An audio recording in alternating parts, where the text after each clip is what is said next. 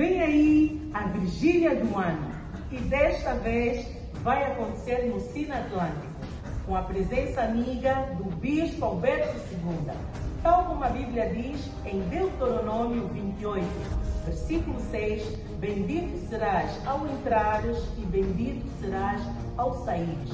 Não esqueça, traga toda a tua família e juntos vamos celebrar na presença do Senhor. Até lá, estamos juntos.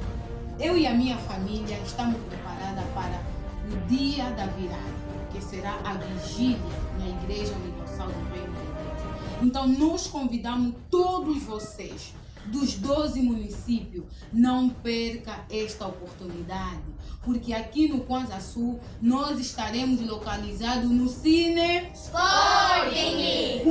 Forem 22 horas, nós estaremos no Cine Sporting para entrar no novo ano na presença do Senhor Jesus Cristo. Não há melhor coisa do que entrar na presença do Senhor Jesus, do que as primeiras palavras ser dirigida para o Senhor Jesus. Então nós convidamos a todos vocês, amigo, amiga, simpatizante, para participar dessa grande vigília no Cine Sporting. Você é o nosso convidado especial. Nós não vamos faltar.